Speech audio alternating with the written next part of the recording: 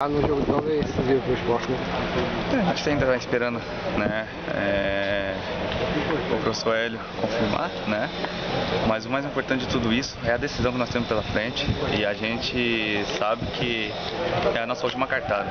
Né? É um jogo decisivo, onde o torcedor fez uma festa muito bonita no jogo, no jogo passado dentro de casa. A gente conta com eles mais uma vez e estamos prontos para essa batalha. Então, pronto para ajudar, pronto para poder colocar o esporte aí dentro do G4 e, se Deus quiser, não sair mais. O que, é que você espera do Central?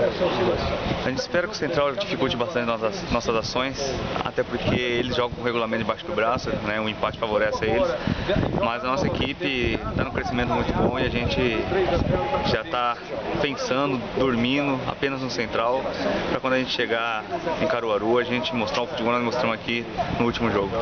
O campo lá vai atrapalhar um pouco. Nós temos que esquecer essa parte do campo. Né? O campo realmente ele não é dos melhores, mas o time que quer ser campeão é, e quer classificar tem que passar por todas essas adversidades.